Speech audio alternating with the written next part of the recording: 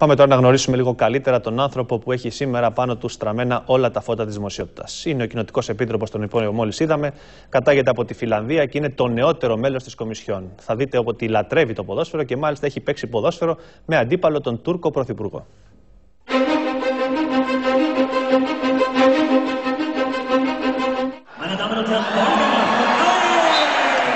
Ο άνθρωπος που προσπαθεί να ξεφύγει με την μπάλα από τον Τούρκο Πρωθυπουργό είναι ο Όλι Ρεν. Ο επίτροπος που ήρθε για να επιβάλλει σκληρά μέτρα έχει μια μεγάλη αδυναμία. Το ποδόσφαιρο. Από μικρός άλλωστε βρίσκεται στα γήπεδα. I was born and raised in uh, eastern Finland, uh, some uh, 100 kilometers from the Russian-Finnish uh, border. Οι εικόνες είναι από φιλανθρωπικό αγώνα που έγινε στο περιθώριο Συνόδου στη Βιέννη το 2006. Όμως, ο Όλι Ρεν έπαιζε ποδόσφαιρο στην τοπική ομάδα μέχρι το 1982.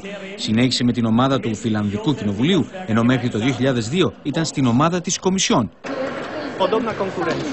Υπήρξε μάλιστα και πρόεδρος της διοργανώτριας αρχής του ποδοσφαιρικού πρωταθλήματος της Φιλανδίας. This uh, is uh, rather rural and dependent on forestry and agriculture, but uh, it is a provincial, provincial capital where I was uh, raised and born called uh, Mikkeli.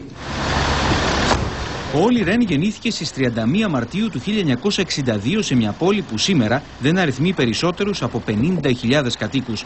Παντρεμένος με ένα παιδί, είναι το νεότερο μέλος της Κομισιόν. Για 7 χρόνια μέχρι τα 20 του εργαζόταν τα καλοκαίρια ως πολιτής ανταλλακτικών αυτοκινήτων. My father uh, was an orphan and uh, he, he's a self-made man in, in business, uh, spare parts and car sales. Uh, my mother, in the meantime, is uh, uh, she was the first uh, university student of her family and uh, she became an English teacher. Όταν έδωσε τη συνέντευξη το Φεβρουάριο του 2003 ήταν διευθυντής ερευνών στο Πανεπιστήμιο της χώρας του. Η Κομισιόν ήταν ακόμη πολύ μακριά. I had uh, a simple mo- motive of uh, wanting to make the world a better place, uh, both uh, for the Finns and uh, more globally.